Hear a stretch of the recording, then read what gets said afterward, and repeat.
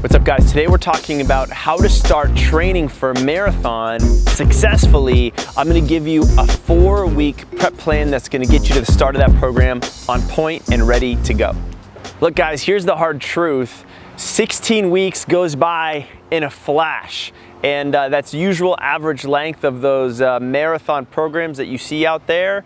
And basically what that means is that you have very little wiggle room to veer off the program too much. So if you think that you're gonna roll on in to day one of that 16 week program cold turkey without really any running or any fitness underneath your belt, your plan or program is not gonna go as well as you'd like it to. So today we're gonna talk about, hey, what should that pre-marathon training look like? What should a, a month before I start training for that marathon get me to so that by the time I hit that day one, I've got some fitness, I've got some consistency in there, and I have some ammo, I've got some nice tools that can help me navigate the inevitable bumps along the road. I'm gonna talk about three things that are gonna get you there. We're gonna talk about running consistency and technique, we're gonna talk about running strength, and we're gonna talking about our daily mobility and movement habits. So that first thing that we really need to hit is, well, the running part. We need to figure out how to be consistent as runners. And usually when we go from zero to 60 or 100, that doesn't lead to consistency. But when we slowly add some runs in, that makes a big difference. And that's why the first thing we're gonna try to tackle is just the number of runs you wanna do in a week. And for a lot of marathon programs, depending where you're at, you're either running three to five times a week on average. For those of you who are more serious, maybe you're running six plus or more, especially if you're doing a run in the morning and a run at night.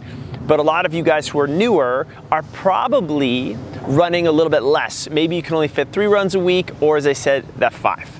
So the most important thing in this, you know, four-week pre-marathon training is that you figure out that schedule you want to hold on to for the marathon training itself. The goal is just that you run that day. The goal is not to run that day super long or super fast. That will come later. Right now, the goal is to just be aware of your technique, thinking about posture and about your breathing. We've got some great videos on that, by the way. Definitely type those in and you'll be able to find them. Um, to get you just in that headspace. And if I run at a time that's within my own wheelhouse, means I'm not gonna be too sore the next day and I'm just gonna get my body used to that rhythm so that by the time I finish that month, I've got that rhythm, I feel good, I know what gear works for me, I figured out what shoes I'm gonna wear, what clothing I like, so that by the time I hit the 16 weeks, I'm ready to go and get down to serious business. Our second key ingredient for our four week prep plan is some strength training. Now, strength training can mean a lot of different things for a lot of different runners. I'm standing outside, I don't see a dumbbell or a barbell near me, although I like those things. I can do a lot of this stuff just with my own body weight on my own. And what's so important, guys, is that you establish that even though you're a runner, that you also remember and respect the fact that you're a human being who has hips and shoulders and legs just like anyone else and I need to take them through range of motion. I need to strengthen all the muscles that support those major joints in that range of motion and I need to learn how to stabilize that stuff. And I'm gonna do that with activities other than running. Running only gets me so far.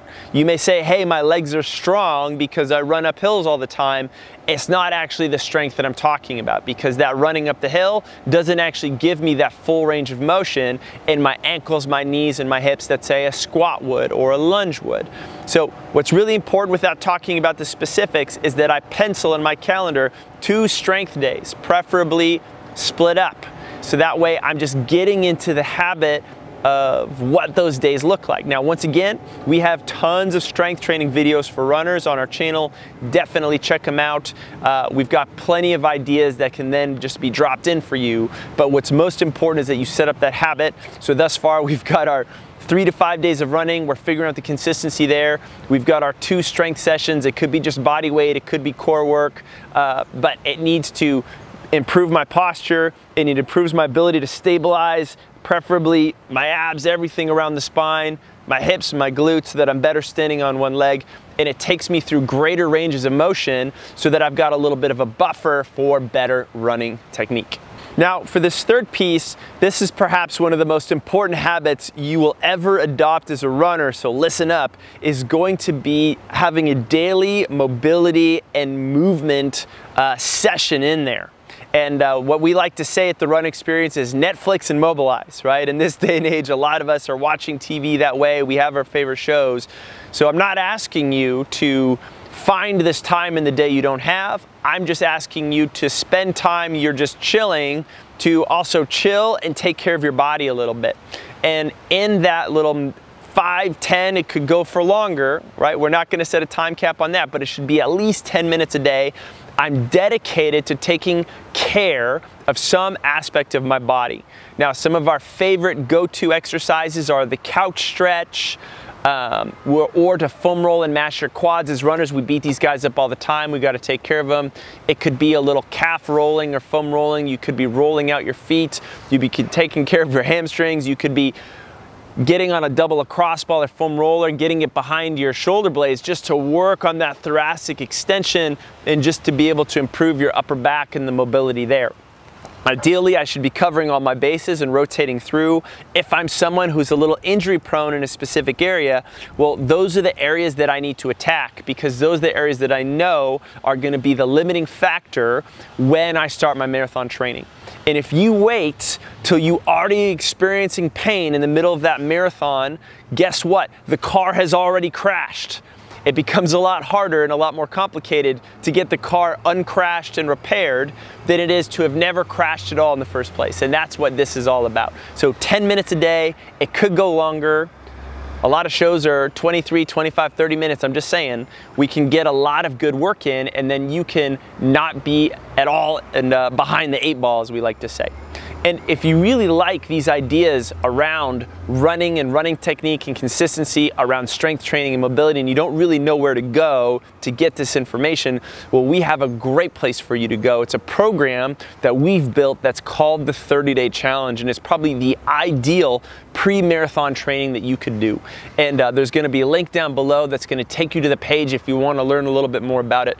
But we know that if you go through this program, you will be set up to be very, very successful in your marathon. You'll be armed with not only the best running technique, you'll get a little running speed in there, you'll have whole coaching and community support encouraging you along the way. And then, of course, you'll have those strength training exercises and those mobility and injury prevention exercises. So all you have to do is show up and do the work, and you don't have to think about it too much. Not a bad deal. All right, guys, that is it. If you like this video, go ahead and let us know. Hit that like button down below. Do you have any comments or questions? And we talked about, we covered a lot today. Go ahead and hit us up in the comments section. We always like a little conversation down there.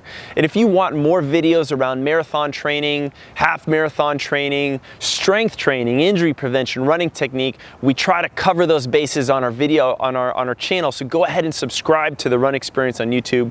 You'll definitely like what we have there. And uh, if you want a downloadable marathon guide that really covers everything you need to know to be successful in that marathon distance. Well, we've created one just for you.